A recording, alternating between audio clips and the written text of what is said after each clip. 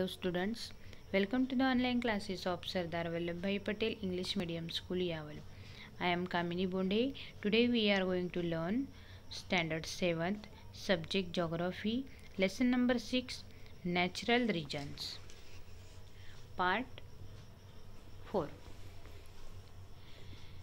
देखो बच्चों, हमने लास्ट पीरियड में फोर रीजन देखे थे और उसका location climate natural vegetation animal life और ह्यूमन लाइफ देखे थे। याद है? अभी नेक्स्ट रीजन है ग्रासलैंड्स सूडान टाइप मतलब घास का प्रदेश सूडान ओके अभी उसका लोकेशन एंड एक्सटेंट देखेंगे हम। Between five degree to twenty degree north and south parallels in both the hemispheres okay मतलब विषुवृत्त रेखा के उत्तर और दक्षिण में फाइव डिग्री से ट्वेंटी डिग्री अक्षांशों के बीच। Savanna, Africa. Queensland, Australia. और the parkland, Africa.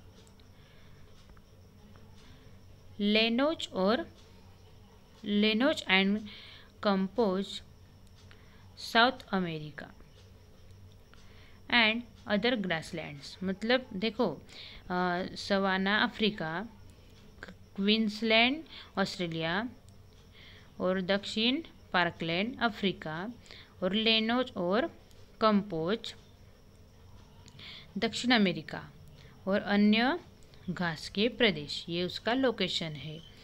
Okay next अभी उसका क्लाइमेट देखेंगे हम।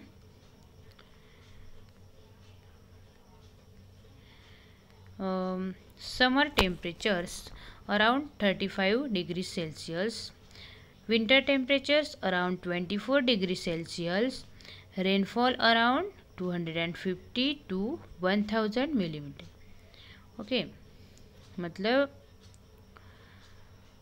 ग्रीष्मकाल में तापमान लगभग thirty five degree Celsius.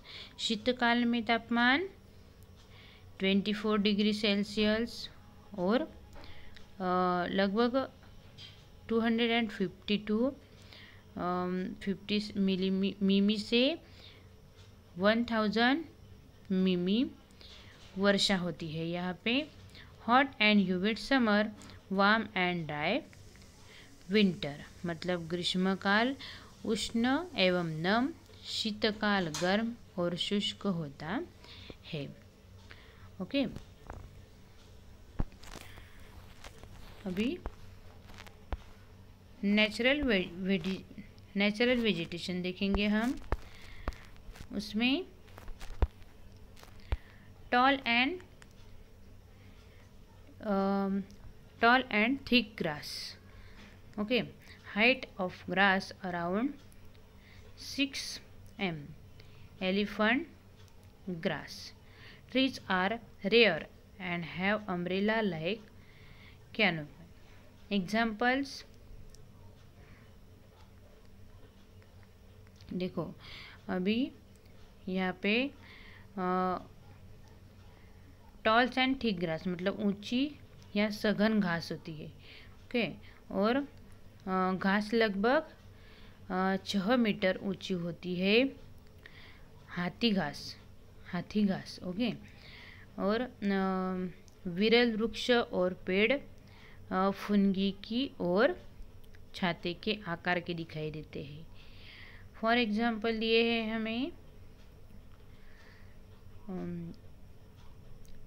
अकिसिया, agave, sisal और पाइनएप्पल और कैक्टस। मतलब बेल, बेर, ओके रामबॉस अनानास और कैक्टस। ये एग्जांपल दिए है। Large number of, large number of herbivore herbivorous and carnivorous animal मतलब यहाँ तृणजीवी प्राणी और मांसभक्षक प्राणी विपुल मात्रा में होते हैं। Nature has gifted them with speedy legs मतलब प्राणियों को प्रकृति ने चप्पल पैर दिए हैं। Skin of the animals has colourful spots और स्ट्रिप्स बैंड्स मतलब शरीर पर रंगीन धब्बे और पट्टे होते हैं। For examples lion cheetah okay hyenas wolf zebra giraffe elephant rhino wild ox buffalo kangaroo और इमो एक्सेट्रा मतलब सिंह, चित्ता और लकड़बग्घा भेड़िया, जिराफ, जेब्रा, हाथी, गेंडा, जंगली बैल, भैंस कंगारू एमू ऐसे एनिमल्स यहाँ पे पाए जाते हैं। और नेक्स्ट ह्यूमन लाइफ देखेंगे हम यहाँ पे। यहाँ की houses are simple with mud walls and thatch roof मतलब मिट्टी मिट्टी की दीवार। घा, व घास की छप्पर होती है। और विदाउट विंडोज़ लोगों लोगों के घर सादे सरल होते हैं, मकानों में खिड़कियाँ नहीं होती। Short in heights and dome shape huts call kraals मतलब नाटी एवं गोलाकार झोपड़ी में ये रहते हैं। इसे क्रॉल्स, क्रॉल कहते हैं। Hunting and rearing are main occupations. Examples main tribes, tribes include Zulu. Hausa and Masai. Okay मतलब इस शिकार एवं पशुपालन यहाँ का प्रमुख व्यवसाय और जैसे दिया है जुलू, हौसा, मसाई, ये आदि जनजातियाँ यहाँ पे रहती है। ओके अभी नेक्स्ट रीजन देखेंगे हम। इक्टोरियल रीजन ओके अभी इक्टोरियल रीजन का लोकेशन एंड एक्सटेंड देखेंगे हम।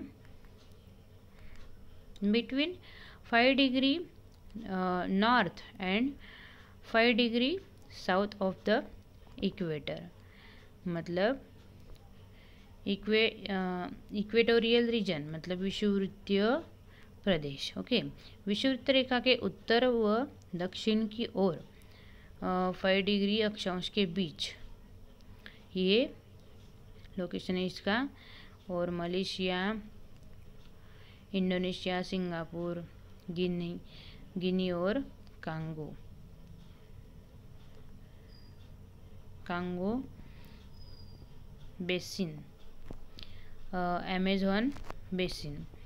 Okay? मतलब इंडोनेशिया, सिंगापुर, मलेशिया गिनी और कांगो का किनारा अमेजोन नदी की घाटी। ये लोकेशन नेक्स्ट अभी climate summer temperatures around thirty degree Celsius मतलब ग्रीष्मकाल में तापमान लगभग थर्टी डिग्री सेल्सियस होता है। Annual rainfall between two thousand and five hundred and three thousand M M height heat and rainfall throughout year मतलब औसतन तापमान ट्वेंटी सेवन डिग्री सेल्सियस और लगभग ट्वेंटी फाइव थाउज़ेंड से थ्री थाउज़ेंड मिमी वर्षा होती है यहाँ पे। और उष्ण एवं नम जलवायु के कारण घास खरपात सड़ जाती है और हवा रोगग्रस्त हो जाती है because of hot and humid climate vegetal litter decomposes leading to diseases और अत्यधिक उष्णता और साल भर वर्षा होती रहती है। अभी यहाँ का नेचुरल वेजिटेशन देखेंगे हम। लास्ट नंबर का रीजन है हमारा हाँ dense evergreen forest variety of trees and bushes मतलब सघन सधारित वन यहाँ पे होते हैं और वनस्पतियों में अत्यधिक विविधता होती है और दलदल युक्त प्रदेश, कठोर लकड़ी के ऊँचे ऊँचे वृक्ष होते हैं। जैसे फॉर एग्जांपल दिया है, swampy land tall hard wooded trees और एग्जांपल महोगनी ग्रीन हार्ट और रोजवुड और एबोनी। ये एग्ज़ाम्पल है इसके। ओके? नेक्स्ट अभी animal life a great variety in animals in marshy lands crocodiles anaconda and hippopotamus etc animals birds living on trees. Examples uh, chimpanzee और chimpanzee gorilla hornbills etcetera और next poisonous insects such as the सेसे fly मतलब प्राणियों में अत्यधिक विविधता पाई जाती है और दलदल युक्त प्रदेश में मगरमच्छ, दरियाई घोड़ा और एनाकोंडा आदि रहते हैं। और वृक्ष पर रहने वाले गोरिल्ला, चिंपाजी, हॉर्नबिल एक्सेट्रा ये इत्यादि रहते हैं और कीटक विशेष से मक्खी होती है। ओके? नेक्स्ट ह्यूमन लाइफ कैसी है यहाँ की।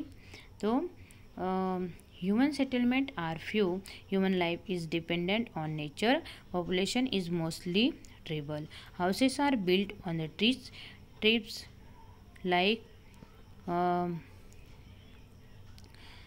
pygmies pygmies Africa pygmy pygmy Africa Boro Indian और सीमॉक एक्सेट्रा देखो, मानव बस्ती यहाँ पे कम होती है और लोगों का जीवन प्रकृति पर निर्भर होता है। और आदिवासी जनजाति के लोग यहाँ पे होते हैं और लोग वृक्षों पर मकान बनाते हैं, जैसे pygmy, Boro, Indian, Semang etcetera okay? ऐसे ये हमने रीजन्स देखे। आए होंगे आपको समझ में? ठीक है। Thank you dear students